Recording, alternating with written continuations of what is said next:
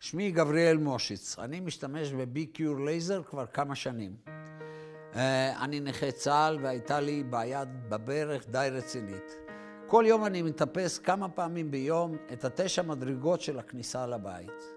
הייתה לי בעיה עם זה, הייתי מוכרח להחזיק ממש בקיר בשביל לעלות למעלה. בעיתון של נכי צה"ל התפרסם שיש מכשיר כזה, והוא נמכר לנכי צה"ל בהנחה גדולה. אמרתי לעצמי, למה שאני לא אנסה?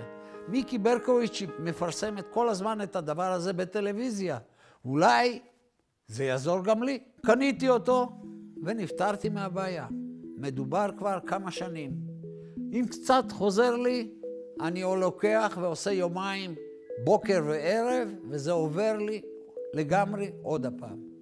כשנסעתי לבלגרד פגשתי חבר קרוב, שלא ראיתי אותו די הרבה זמן, והוא סבל מבעיה קשה בברך, אמר, עמד לעשות ניתוח בברך.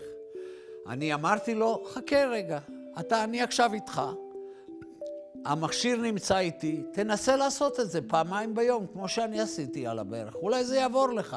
לא כואב, לא נורא. האמת, הוא ניסה איתי. תוך יומיים הפסיקו לו הכאבים והוא הפסיק לצלוע.